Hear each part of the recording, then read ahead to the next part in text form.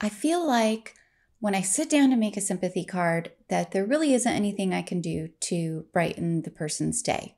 No matter what I do, the paper, the stamp, the inks, it's not going to bring back their loved one or fix their problem. So, after thinking about it and reflecting, I realized the reason I don't like making sympathy cards is because I don't like making sympathy cards. It's as simple as that. I like making cards that are generally not considered sympathy cards, cards with a lot of color and bright, clean cards. Those aren't your traditional sympathy card. So I figured if I like them and they bring me joy, maybe they'll bring the recipient joy. So that's what I did. I made a clean and simple, bright, happy sympathy card. Let's get started.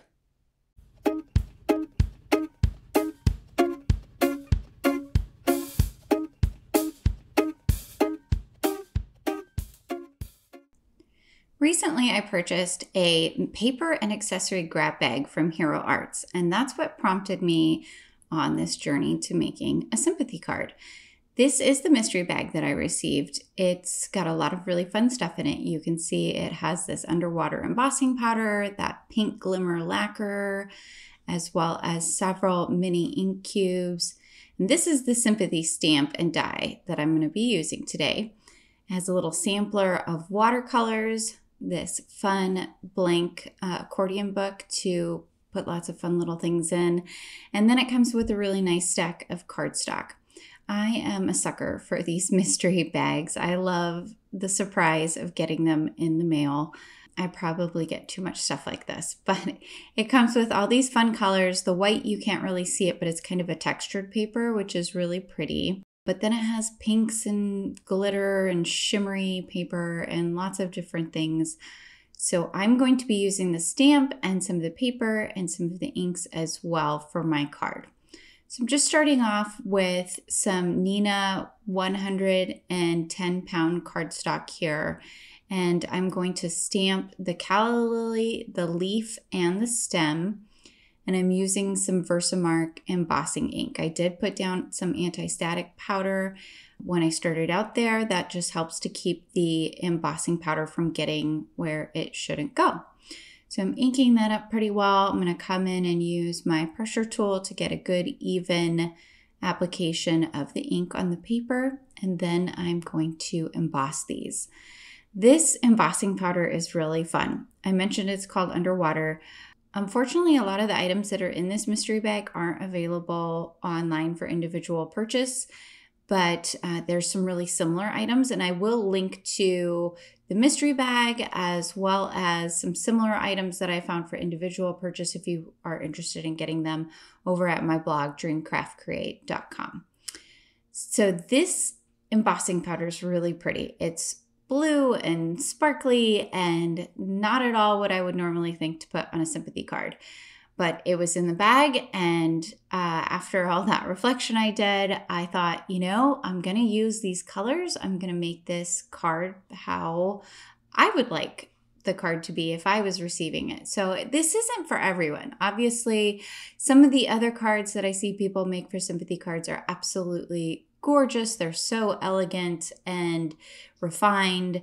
That's just not really my style, though. So I, that's what makes it difficult for me. So I think the biggest takeaway I would say if you struggle with sympathy cards is to make the kind of card you like to make and make it a sympathy card. I don't think there needs to be some kind of set genre of what a sympathy card should look like. I think sending a heartfelt card that you are proud of and you're sending it to someone because you want to send them some love during a rough time, I think that's all there needs to be to it. I don't think it needs to be as difficult as, at least as difficult as I made it. So, coming in here with some white embossing powder, I did stamp the with sympathy sentiment that came with the set.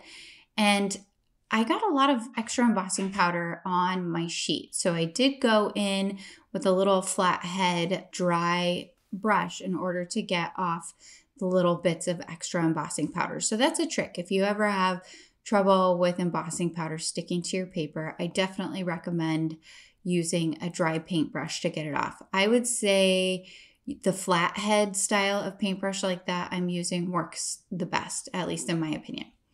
So now I'm going to use the colors Splash and Pool Party.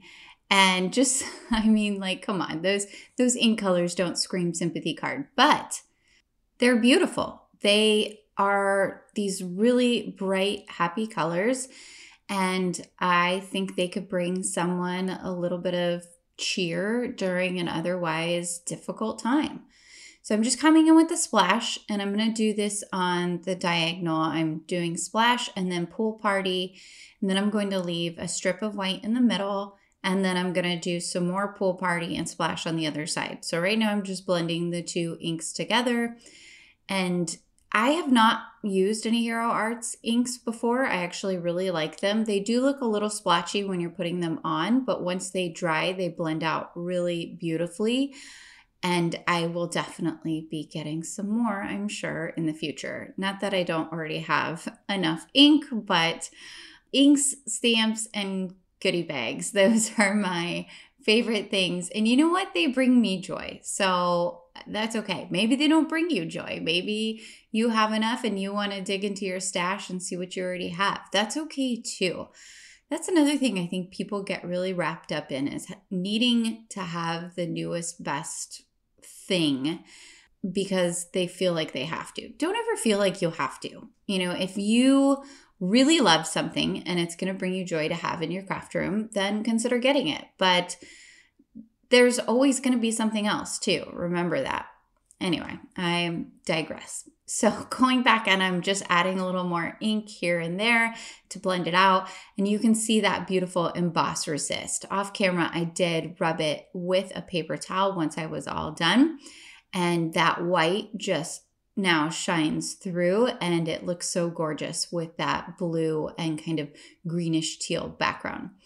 So now I'm going to go in and I'm going to apply my die cut calla lily. This stamp is really pretty. It's very finely detailed. I love how gorgeous it is. You could do all the pieces in different colors too, which is kind of fun um, versus all in one color. I like that they're separated out like that. So you could stamp these. You could also stamp them in clear or white and then watercolor. There's so many different things that you can do with a style of stamp like this. I oftentimes like to stamp my images all in one color and then just leave them like that, not color them, not do anything with them. And I think doing it in this glittery light blue embossing powder brings it a little bit more glamour. I don't know. Anyway, so I cut out off camera a piece of craft EVA foam and I'm just using that to add some dimension to the flower. I, I think that adds a lot to this card. It's a little bit of something extra. And you could cut out several pieces of cardstock, like maybe two or three with the die like this. You don't have to use craft foam. I know some people don't like craft foam. I think it is wonderful. It makes adding dimension so easy when you have die cuts that you can just cut out the piece and put it behind. So just making sure I like the placement before I commit and then I'm going to go ahead and put that down. And you can see now how those colors in the background have blended. Once they've dried, they look really nice together. I picked out a piece of this light blue cardstock. I believe it's the Arctic cardstock. I'm not sure exactly because there wasn't a list of included cardstock colors, but from what I can tell, I think it's the Hero Arts Arctic cardstock. And all of this cardstock was really nice. It was a nice weight, it was easy to work with. I actually cut out this panel and the card base as well as the top panel with my Cricut because I don't have any slimline dies and I always mess up my measurements when I am cutting out a slimline card. I'm getting better. So I did create a Cricut template uh, that I will share over at my blog. It's actually already there. So if you would like access to that project link, it's made with free shapes that I put together in Cricut uh, Design Space. You can go over to my blog and get access to that. So I did cut out another piece of the craft foam to put behind my top panel to give it a little bit of pop and dimension there. And it really adds something to have that craft foam. I, I just think it really adds a lot to have the dimension in your cards. So I did off camera go ahead and lay out the embellishments where I wanted to put them and I'm just using some Gina K Connect glue to apply my embellishments. I it's funny. I don't know if you've seen my other videos, but I always manage to get sequins and embellishments all over the place when I'm crafting. I don't know about you guys, but I have found it's a little easier for me to figure it out off camera where I want them to be. Otherwise, I'd be keeping you guys here all day while I fussed around with embellishments.